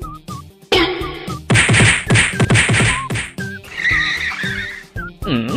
Không lẽ lão gia già này là muốn đến đây ăn sao? Chàng trai trẻ, ta có thể nhờ cậu một việc không? Xe ba bánh của ta hết pin rồi. Ta có thể sạc nhờ xe ở chỗ cậu không? Ta sẽ gửi cậu tiền. Mình đã nói rồi mà, đại thúc này làm sao có thể đến đây ăn được? Đại thúc, đương nhiên là có thể rồi. Không cần tiền đâu, thúc cứ tùy ý sạc là được. Muốn sạc bao lâu thì sạc bấy lâu. Chàng trai à, tiền thì ta vẫn phải đưa. Hóa đơn tiền điện của cậu cũng sẽ tốn kém đó. Đại thúc, thật sự không cần đâu, xe điện thì có thể tốn bao nhiêu điện chứ? Cháu sẽ mang xe đi sạc cho thúc ngay. Cảm ơn cậu, chàng trai trẻ. Chìa khóa ta vẫn để trên xe nha. Chàng trai à, ở đây có bán mì sao? Đúng vậy, có bán mì sơn dương và mì thịt bò. Vậy chàng trai trẻ, cậu nấu cho tôi một bát mì sơn dương nhỏ nhé. Vâng thưa đại thúc, vậy thúc chờ một chút, cháu sẽ đi nấu ngay đây. Chàng trai, mì này của cậu cũng ngon quá đi. Cả đời này tôi ăn mì, cũng chưa bao giờ ăn mì được loại nào ngon như vậy. Chàng trai trẻ, mì ở đây có thể đóng gói mang đi không? Đại thúc, thúc muốn đóng gói mang đi sao? Nếu có thể, lát nữa khi ta đi, cậu hãy làm thêm cho ta một bát lớn nhé. Ta mang về để bà nhà ta cũng có thể nếm thử. Bà ấy cũng tuyệt đối chưa từng ăn qua món mì ngon như vậy. Có thể đóng gói, nhưng nếu đại thúc mang về ăn, bởi vì thời gian để tương đối dài, hương vị có thể tệ hơn một chút. Không sao đâu, cho dù là hương vị kém hơn một chút, cũng chắc chắn là vẫn rất ngon. Được rồi, lát nữa khi thúc đi, cháu sẽ lại làm cho thúc một cái bát lớn. Vậy ta cảm ơn cậu, chàng trai trẻ. Bởi vì là lần đầu tiên có khách hàng yêu cầu đóng gói mang về, Cương Dương cần phải đến thị trấn để mua ít hộp đựng đóng gói. Vì vậy nói quay ra với đại thúc một tiếng. Đại thúc không cần khách sáo, thúc cứ ăn trước đi, cháu ra ngoài một chút sẽ quay về sớm thôi. Đúng là ngủ gật lại nằm ngay vào cái gối mà. Tiết kiệm thật, ta còn đang định lên thị trấn mua nữa. Ngoài ra còn có một nhiệm vụ ngẫu nhiên, hoàn thành dịch vụ đóng gói mang về cho 10 khách trong vòng 2 ngày. Phần thưởng là cơ hội rút thăm trúng thưởng một lần. Nhiệm vụ ngẫu nhiên, vậy nếu nhiệm vụ không hoàn thành thì sao? Vậy chính là nhiệm vụ thất bại, không thể lặp lại nữa. Nói theo cách khác, nó tương đương với việc mất một cơ hội cho một nhiệm vụ ngẫu nhiên. Vậy thì cũng chẳng có vấn đề gì. Xin hỏi ông có phải là chủ nhà hàng này không? Đúng vậy. Xin chào ông chủ, tên tôi là Khúc Phong, là người thành phố Hợp Dương. Nghe nói mì Xuân Dương của anh rất nổi tiếng ở quận Trường Khê này, là mì Xuân Dương ngon nhất cả thành phố. Phải như vậy không?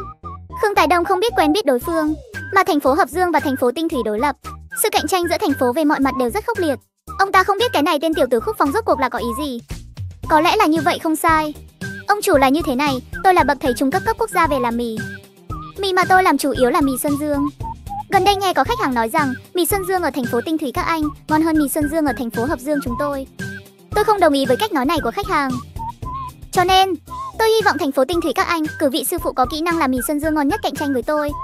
Tôi đã thắng 4 trận liên tiếp ở hai quận và ba huyện thuộc thành phố Tinh Thủy các anh rồi.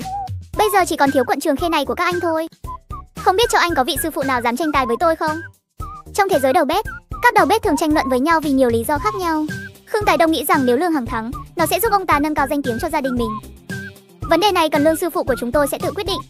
Anh bạn ngồi xuống một chút, tôi sẽ nói chuyện này với Lương sư phụ trước. Anh cứ tự nhiên. Bậc thầy trung cấp về làm mì, Khúc Phong. Lương sư phụ có biết người này không? Chưa từng thấy qua, nhưng tôi biết anh ta. Ở thành phố Hợp Dương, bậc thầy làm mì cấp quốc gia Khúc Phong có danh tiếng không nhỏ. Xem ra anh ta thắng 4 trận ở hai quận huyện khác nhau, tất cả đúng là đều dựa vào thực lực. Điều này là chắc chắn rồi. Vậy Lương sư phụ có muốn tranh tài với anh ta không? Có chắc thắng được anh ta không? Nếu anh ta đã mất công tìm đến cửa rồi, vậy nên dù có chắc chắn hay không thì chúng ta cũng nhất định phải solo trận này. Nếu tránh mặt không solo lần này, thì sau này cũng khó mà ngẩng cao đầu trong dưới đầu bếp. Nói về phần chắc chắn, nếu là mấy ngày trước, tôi không dám nói chắc chắn bao nhiêu phần. Có điều bây giờ tôi nghĩ có thể là 5 năm. Trong thời gian từ hẻm núi Cửu Long trở về đến nay, trình độ mì Xuân Dương tăng lên nhiều như vậy nhưng cũng mới ở mức 5 năm thôi sao? Ông chủ đi thôi, tôi sẽ cùng anh đi gặp Khúc Phong. Bậc thầy làm mì trung cấp chắc giỏi lắm nhỉ? Lương sư phụ chỉ là đầu bếp sơ cấp thôi phải không? Tôi đoán chừng lương sư phụ có thể phải thua. Cũng chưa chắc là vậy. Mì Xuân Dương do lương sư phụ làm trong hai ngày này ngon hơn nhiều so với trước đây. Tôi lại đoán lương sư phụ có cơ hội chiến thắng cao hơn. Người ở hai ba quận huyện khác đều thua rồi. Bây giờ chỉ còn có thể xem quận Trường Khê của chúng ta. Mì Xuân Dương của thành phố Tinh Thủy phải trông chờ cả vào quận Trường Khê rồi. Mong rằng lương sư phụ sẽ thắng. Mì Xuân Dương của thành phố Tinh Thủy chúng ta ngon hơn thành phố Hợp Dương họ nhiều. Chính xác, chính xác. Nghe thấy những vị khách thảo luận, hai người Khương Tài Đông và Lương Hằng đột nhiên cảm thấy áp lực rất lớn. Có rất nhiều khách hàng đều đang ủng hộ, hai người không muốn làm khách hàng thất vọng, vậy thì chỉ có thể cố gắng hết sức để chiến đấu thôi. Phúc sư phụ, đây là sư phụ Lương Hằng của chúng tôi. Bắt đầu từ một nhà hàng nhỏ không ai quan tâm, hãy xem cách mà Cương Dương biến nó thành nhà hàng ngon nhất thế giới. Nghe danh Khúc sư phụ đã lâu, hôm nay mới có duyên gặp mặt, thật vinh dự cho tôi. Khúc Phong nghe Lương Hằng nói biết hắn từ lâu, trong lòng vô cùng vui vẻ kèm theo chút đắc ý, nhưng trên mặt vẫn mang vẻ lạnh lùng. Có thể có cơ hội cùng Lương sư phụ phân cao thấp, tôi cảm thấy rất vui. Khúc sư phụ muốn khi nào bắt đầu so tài? Còn có nguyên liệu gì cần chúng tôi giúp chuẩn bị trước không? Nếu có thể, tôi muốn bắt đầu ngay bây giờ. Về phần nguyên liệu, tất cả tôi đã tự mang theo đến đây rồi. Vì Khúc sư phụ đã chuẩn bị xong hết rồi, vậy bên này tôi cũng không có vấn đề gì. Về người phản xét, Khúc sư phụ có ứng cử viên nào không? Vậy làm phiền ông chủ Khương đi. Tôi tin ông chủ Khương có thể làm được, công bằng và công tâm. Tôi không có ý kiến gì. Trong trường hợp này, vậy thì tôi sẽ làm người phán xét công tâm nhất. Tiếp theo, cuộc thi mì Xuân Dương của hai người chính thức bắt đầu. Khúc Phong cầm nguyên liệu cần thiết mà mình mang theo, theo Lương Hằng cùng đi vào bếp. Ông chủ, hai vị sư phụ cần bao nhiêu thời gian? Khi nào mới có kết quả? Chủ yếu là nấu súp rất mất thời gian, có thể mất 4 đến 5 giờ mới xong. Lâu vậy trưởng luôn á, tôi cứ tưởng rất nhanh sẽ có kết quả. Chàng trai trẻ, đã sặc lâu như vậy hẳn là có thể lái xe về nhà rồi. Phiền cậu lại nấu thêm cho ta một bát mì Xuân Dương lớn mang về. Được, cháu đi nấu ngay. Cưng Dương vào bếp và lấy một hộp đóng gói từ túi không gian. Sau một số thao tác thành thạo, mì Xuân Dương đã được nấu và đóng gói xong xuôi. Xuân Dương còn cố ý lấy một ít thịt bò từ súp bò thêm vào hộp mì. Đại thúc, đã xong rồi đây. Cảm ơn anh bạn, cho ta gửi tiền. Nói xong đại thúc liền đưa đến 90 nghìn. Ừ? Đại thúc à, một bát lớn cộng với một bát nhỏ là 80 nghìn. 10 nghìn này là tiền điện cho cậu. Sạc lâu như vậy chắc chắn là phải trả tiền. Đại thúc, thật sự không phải trả. Ngoài ra cũng không dùng nhiều đến mức 10 nghìn tiền điện đâu. Sau khi hai bên tranh luận một hồi, cuối cùng đại thúc vẫn phải giữ lại 10 nghìn cho mình. Vậy thì cảm ơn cậu rất nhiều, chàng trai trẻ. Đại thúc không cần khách khí đâu ạ. À. Vậy thúc về cẩn thận, hoan nghênh thúc lần sau lại đến. Được được được, cảm ơn cảm ơn cậu. 4 giờ 30 chiều, trận so tài của Lương Hằng và Khúc Phong đã được lan truyền khắp quận Trường Khê. Đại sảnh nơi tổ chức đã đầy khách tới xem. Bây giờ cả hai đối thủ đều đã hoàn thành rồi. Vậy thì tôi sẽ nếm thử và nhận xét ngay bây giờ. Khương Tài Đông do dự một lát rồi quyết định thưởng thức mì của Khúc Phong trước. Khúc Phong này của thật lợi hại, hương vị của món súp này còn hơn cả tay nghề Lương sư phụ. Sau khi thưởng thức kỹ sợi mì còn có chút sợ hãi. Khúc Phong này thật sự rất mạnh, mì bên này chắc chắn là trên cả trình của Lương sư phụ rồi. Khương Tài Đông trong lòng thở dài một tiếng, ngoài mặt thì im lặng, sau đó lại nếm thử mì của Lương Hằng. Sau khi nếm thử cũng đã rất bất ngờ. Bát mì này của Lương sư phụ mấy ngày nay đã lại tiến bộ hơn rất nhiều. Nhưng thật không may, so với mì của Khúc Phong, vẫn còn một khoảng cách khá xa. Lương sư phụ thua không thể nói là ngoài ý muốn, nhưng thật sự rất đáng tiếc. Đầu bếp chiến thắng chính là Khúc sư phụ. Tất cả khách hàng sau khi nghe xong đều vô cùng tiếc nuối. Bắc trung cấp quốc gia cuối cùng vẫn mạnh hơn. Bằng cách này, hai huyện ba quận thuộc thành phố tinh thủy của họ toàn bộ đều bị tiêu diệt. Sư phụ Lương đã nhường rồi. Khúc Phong vẻ mặt rất bình tĩnh nhưng trong lòng lại rất kích động. Bây giờ còn lại Lương Hằng, những vị khách kia lại còn nói mì Xuân Dương do Lương sư phụ làm ngon hơn. Lần này cuối cùng cũng biết là họ tự sai rồi. Hai vị sư phụ có thể thưởng thức mì Xuân Dương do đối phương làm. Lương Hằng, Khúc Phong cả hai đều nếm thử mì của nhau. Quả thật, hương vị mì của Khúc Phong này thực sự ngon hơn nhiều. Mặc dù đối phương có khoảng cách rõ ràng so với mình, nhưng khoảng cách cũng không quá lớn. Thực lực của Lương Hằng này mạnh hơn mình tưởng tượng một chút. Các vị ở hiện trường ai muốn nếm thử cũng có thể đến nếm thử. Các vị khách hàng đã chờ đợi câu nói này từ lâu rồi. Nghe được ông chủ nói vậy tất cả đều tiến lên nếm thử. Sau khi thử xong đều cảm thấy mì của Lương Hằng ngon hơn bình thường một chút, nhưng thực sự vẫn không thể so sánh với mì của Khúc Phong. Lương sư phụ, ông chủ Khương và các vị ở đây. Vậy thì từ giờ trở đi, có thể chính thức nói mì Xuân Dương của thành phố Tinh Thủy không bằng mì của thành phố Hợp Dương rồi. Mọi người ở đây đều là nhân chứng. Khương Tài Đông và Lương Hằng ra hiệu nhìn nhau. Lương Hằng lên tiếng. Thật ngại quá, Khúc sư phụ còn chưa thể nói như vậy đâu. Ừ? Lương sư phụ, anh đây là có ý gì? Không muốn thừa nhận là đã thua tôi sao? Không, tôi đúng là đã thua rồi, nhưng tôi thua không có nghĩa là quận Trường Khê chúng tôi thua. Ý anh là ở quận Trường Khê của anh, vẫn còn người làm món mì Xuân Dương có thực lực hơn cả anh à? Lời này vừa nói ra, các vị khách đều sáng mắt lên, đều cảm thấy vô cùng ngạc nhiên. Vâng, thực lực của anh ấy vượt xa tôi. Vậy anh nghĩ anh ta có thể thắng tôi không? Chắc sẽ nghiền nát anh không chút kiêng rẻ đấy. Lương Hằng này rõ ràng đã biết thực lực của mình rồi, còn dám khẳng định như vậy. Chẳng lẽ quận Trường Khê vẫn còn ngọa hổ tàng long sao? Khoan đã, không đúng. Ông chủ Khương, không phải ông nói là ở cả cái quận Trường Khê này. Sư phụ trong cửa hàng của anh có thể làm ra món mì Xuân Dương ngon nhất à? Chẳng lẽ Lương sư phụ không phải là sư phụ giỏi nhất trong cửa hàng của anh sao? Lương sư phụ đương nhiên là sư phụ giỏi nhất trong cửa hàng của tôi. Mì Xuân Dương do Lương sư phụ làm thực sự là tốt nhất trong cả thành này rồi, nhưng chưa phải là tốt nhất trong toàn bộ quận Trường Khê. Ông chủ Khương, điều này có nghĩa là gì? Các khách hàng cũng đều có chút bối rối, tất cả đều nhìn về phía Khương Tài Đông. Có nghĩa là ở quận Trường Khê của chúng tôi có người làm mì Xuân Dương ngon hơn Lương sư phụ. Chỉ là nhà hàng của anh ta không ở trong thành phố, mà là ở vùng núi bên ngoài một thị trấn. Ở vùng núi ngoài thị trấn. Ông chủ Khương, ông chắc là không đùa chứ? Tất nhiên là không. Được rồi, nếu đã như vậy, vẫn là xin ông chủ Khương cho tôi biết vị trí cụ thể của nhà hàng vị sư phụ kia. Tôi sẽ đi tìm anh ta thách đấu. Nhà hàng của anh ấy hơi xa, phải mất ít nhất 2 tiếng rưỡi lái xe.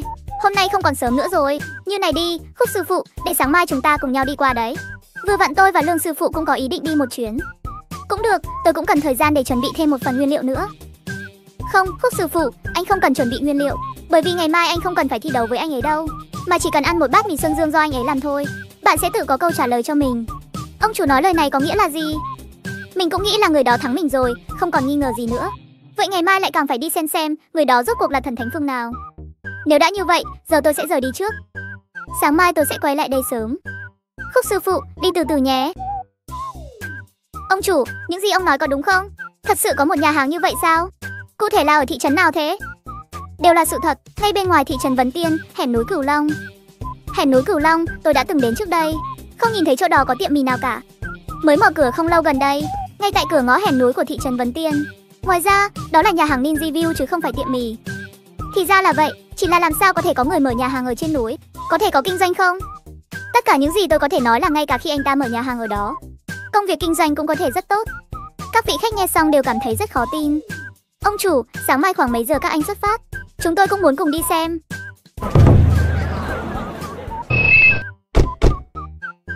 Có vẻ như chúng ta là những người đầu tiên đến đây. Tôi nghĩ ông chủ Khương và những người khác vẫn chưa đến. Vậy chúng ta đợi ở đây hay là vào nhà hàng trước? Nếu đã đến rồi, chắc chắn nên vào nhà hàng. Đi thôi, chúng ta đi xem tình hình nhà hàng này thế nào. Được, vậy chúng ta đi thôi. Sao một lần đến nhiều người như vậy? Những người này sẽ đến ăn cơm chứ? Mặc dù Cương Dương không biết những người này có phải đến ăn cơm hay không, nhưng vẫn đứng dậy chuẩn bị đón khách. Xin hỏi anh là chủ nhà hàng này phải không? Đúng vậy, tôi chính là ông chủ. Các anh muốn ăn chút gì không? Ông chủ, chúng tôi xem trước thôi có được không? Tất nhiên có thể rồi. Mọi người tò mò nhìn bốn xung quanh, không khỏi ngưỡng mộ vẻ đẹp nơi đây, đồng thời cũng nghi ngờ ông chủ trẻ tuổi này có thể dễ dàng giành chiến thắng với khúc sư phụ không. Ông chủ lại là người đi cùng chúng tôi đến rồi, chúng tôi đi chào họ trước nhé. Được rồi, được rồi, tình huống hôm nay thế nào đây? Mấy chiếc xe vừa đến, bây giờ lại có nhiều như vậy. Chào buổi sáng mọi người. Chào buổi sáng, các anh đến đây lâu chưa? Thế nào rồi, nhà hàng này có thực sự bán mì Xuân Dương không? Có bán, chúng tôi vừa định đặt một bát thử trước. Sau đấy thì tôi thấy các anh đến rồi. Không biết ông chủ Khương khi nào họ mới đến nữa. Đi thôi, chúng ta vào đó trước. Đi thôi, cũng không biết mì Xuân Dương của nhà hàng Ninja View bày có thể thắng được không? Tại sao tôi luôn cảm thấy khoai khoai nhỉ? Một đám người vừa nói chuyện vừa đi đến trước nhà hàng. Cương Dương nghe được mọi người nói cái gì mà, không biết có thể thắng được không? Trong lòng nghĩ những người này của nhiên không phải chỉ đến ăn. Vì vậy quyết định hỏi mọi người xem thế nào. Ông chủ, chuyện là như thế này. Có một bậc thầy làm mì trung cấp quốc gia tên Khúc Phong, là người Hợp Dương. Hắn đến thành phố Tinh Thủy của chúng ta. Khách nhân đem kể lại tình hình vô cùng chi tiết nói với Cương Dương một lần. Cuối cùng cũng biết đây là tình huống gì. Mì vị gia chính là tiệm mì mà vệ bình sư phụ đã từng nói với mình đây mà. Chỉ vì anh ta nói với ông chủ tiệm mì vị gia rằng mì Xuân Dương ở đây của mình ngon hơn.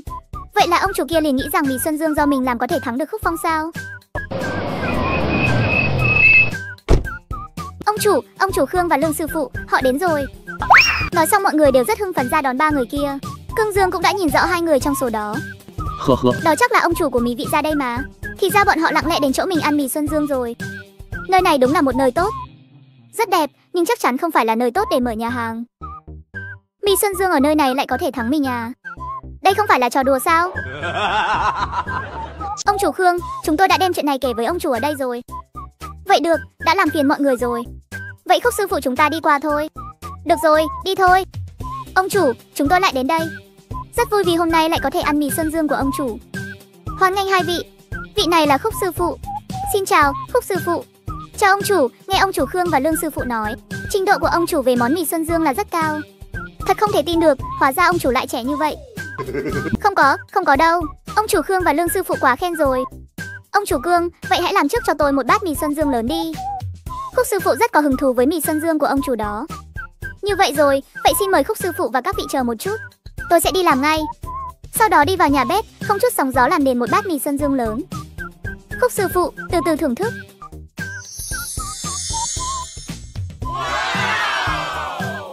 Khúc Phong nhìn vào bát mì Xuân Dương, đồng tử lập tức giãn ra. Vô cùng ngạc nhiên, màu sắc và hương thơm của một bát mì Xuân Dương để có thể làm được điều này. Thì trình độ đã vượt qua mình rất nhiều rồi. Ngay cả bậc thầy làm mì cấp cao cũng chưa chắc đã có thể làm đến mức độ này. Hai người Khương Tài Đông và Lương Hằng ngồi nhìn Khúc Phong.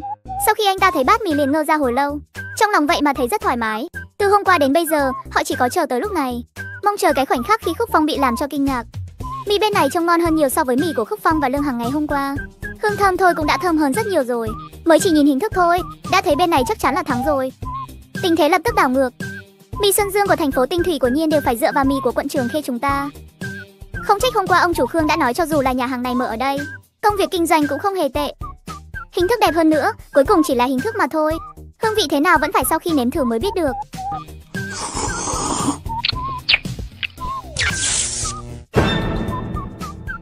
Này sao lại ngon tới vậy? Ngon hơn nhiều so với mì Xuân Dương mình làm. Mình thua rồi, thua hoàn toàn rồi.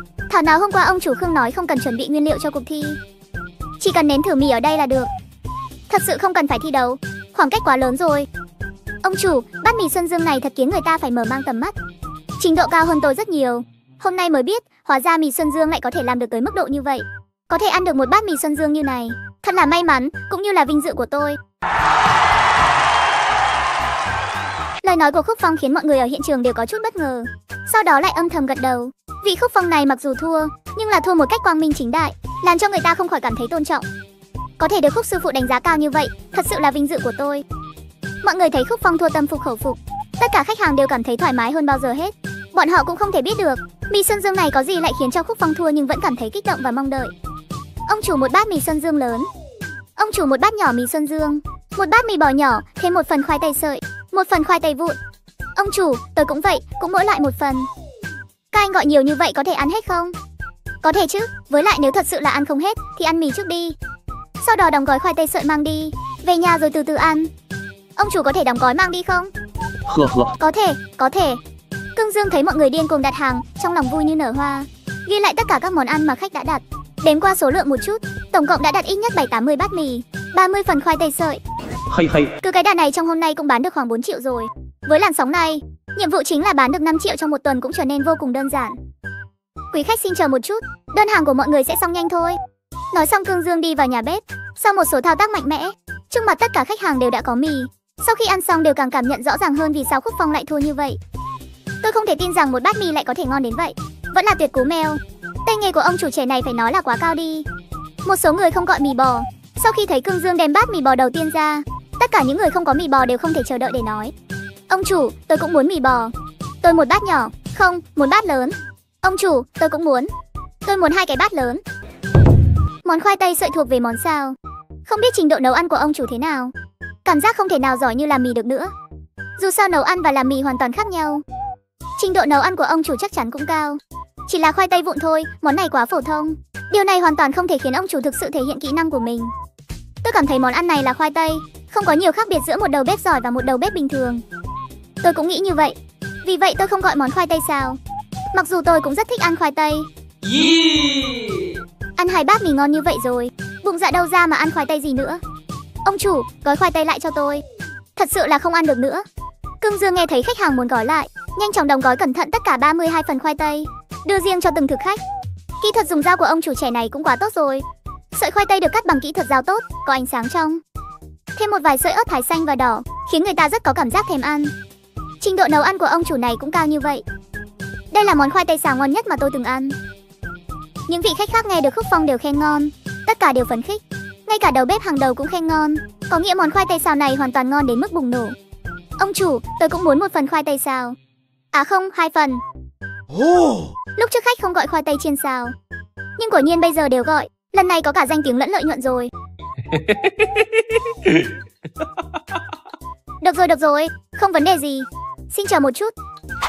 Một lúc sau, sau khi thao tác xào xong mười mấy phần khoai tây, Cương Dương nhanh chóng đóng gói và đưa cho khách hàng. Khách hàng bắt đầu lấy điện thoại ra, lần lượt quét mã để thanh toán.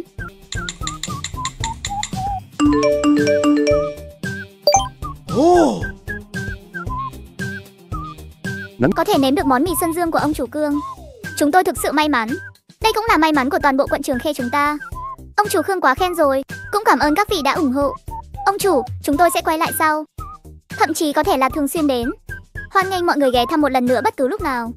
Sau một loạt lời tạm biệt sôi nổi, cả đoàn Khương Tài Đông đều lần lượt rời đi. Cương Dương bắt đầu rút thưởng.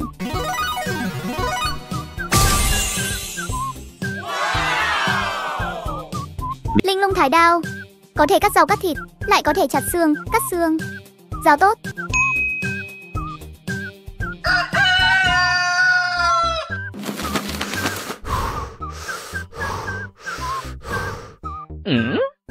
Đây không phải đại thúc đến sạc điện hai ngày trước sao Chẳng nhẽ đại thúc muốn tặng thuốc muốn tặng đồ trong túi kia cho mình à Chàng trai trẻ, đây là hai cây bắp cải và một chút cần tây cậu cầm lấy ăn đi. Hả? Đại thúc, thúc làm cái gì vậy? Mấy đồ này đều là thúc mang đi để bán. Cháu không thể lấy, thúc vẫn nên cầm đi bán đi. Chàng trai trẻ, hôm trước tôi sạc điện, cậu không nhận tiền. Sau đó, trong mì Xuân Dương mang về của tôi lại còn cho nhiều thịt bò như vậy. Thịt bò rất đắt, cậu cho nhiều thịt bò như vậy nhất định lỗ nhiều tiền. Tôi không biết làm thế nào để cảm ơn cậu. Chỉ có thể mang cho cậu chút đồ. Cậu nhận lấy, nhận lấy. Nhất định phải nhận lấy. Tất cả đều là tôi tự trồng. Không có thuốc trừ sâu. Thịt bò đó cũng không đáng bao nhiêu đâu. Thúc à, thúc không cần phải lịch sự như vậy. Nhiều thịt bò như vậy làm sao không đáng bao nhiêu được. Hơn nữa, chàng trai, thịt bò của cậu cũng rất ngon. Tôi và vợ tôi chưa bao giờ ăn thịt bò ngon như vậy. Lão bà nói, cậu có thể từng là đầu bếp 9 sao của nhà hàng Michelin. Món mời đó thực sự không đáng mấy đồng. Chỉ có thể nói là một chút tâm ý. Chàng trai, cậu nhất định phải nhận. Cái này, đại thúc, nếu không thế này Vì những nguyên liệu này của thúc dùng để bán Vậy cháu sẽ mua lại nguyên liệu của thúc theo giá thị trường thì sao? Vậy thì không được, tôi đến đây không phải để bán cho cậu. Chàng trai trẻ, cậu cũng khách khí quá rồi. Một chút đồ ăn cũng không đáng giá. Có gì không? Thôi được, vậy thì phải cảm ơn đại thúc rồi. Vậy mới đúng, không cần khách khí. Vậy tôi đi đây chàng trai. Được, vậy thúc lái xe cẩn thận. Không sao, lão già tôi đánh lái rất lụa, không phải xoắn.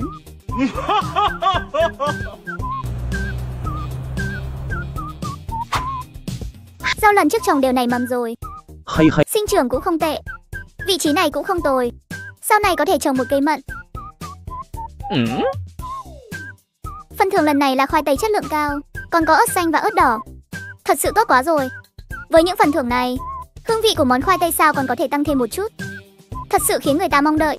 Vậy thì mận, của nho, của tre, trái kiwi, của táo, lê, cam, quả sung, đào lông. Sau này sẽ từ từ trồng thêm nhiều loại hơn.